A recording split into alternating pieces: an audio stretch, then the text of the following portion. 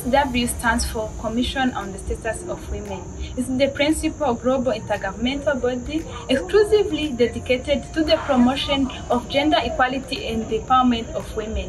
So why should you care about CSW? CSW promotes women's rights.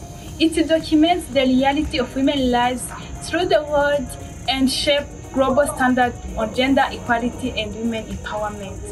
This is a chance to add the voices of girls and women to the decision making table. It's just another example that we, girls, have the power to make a change and that our voices are being heard. This is the perfect opportunity for me to better improve myself and grow and learn more about the intersectionality of climate change and women's rights.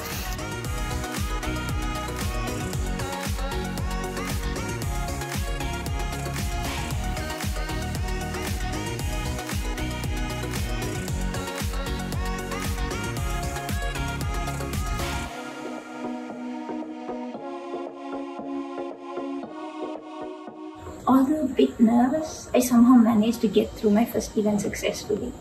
And with the next one coming up, I'm sure I'll be able to empower a lot of girls and young women to take action against climate change with my words.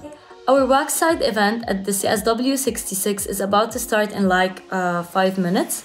We are at the moment at a practice session.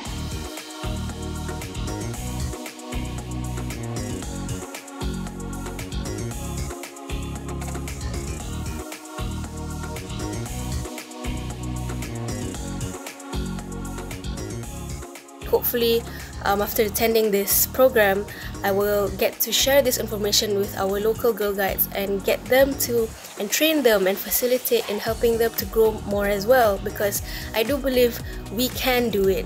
However, we just need a platform, which is why this program is a great opportunity for all of us.